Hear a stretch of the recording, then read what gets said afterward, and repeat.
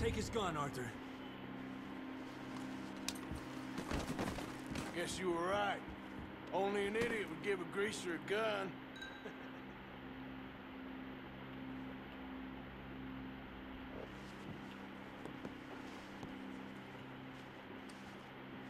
Idiot, huh?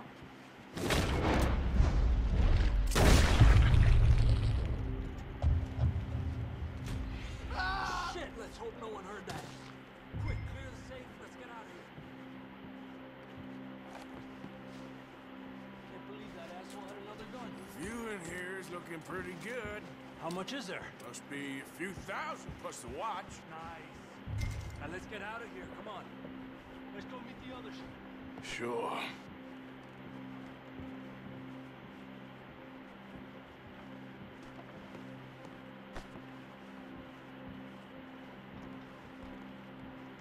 I reckon we've only got a few minutes to get out of here. If we're lucky.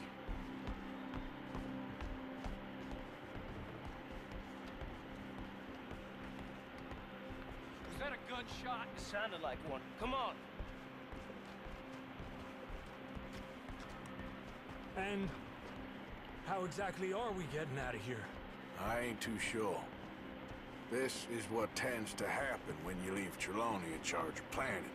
Oh, garnish no meat. Probably involve us dressing up as dancing girls and can cannon off the side. Nice uniform, by the way. Thanks. Give anyone a job these days. Anyway, we shouldn't give ourselves away till we know we need to. Maybe we could still blend into the crowd when it all goes crazy. Which it surely will.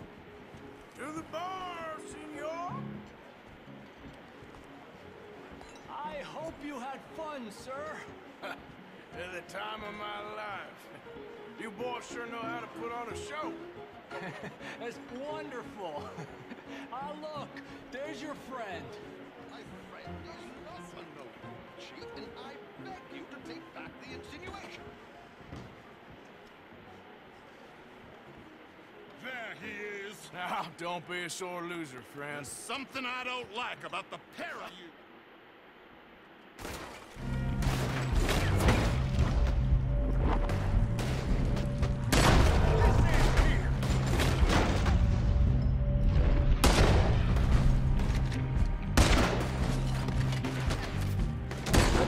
Arthur!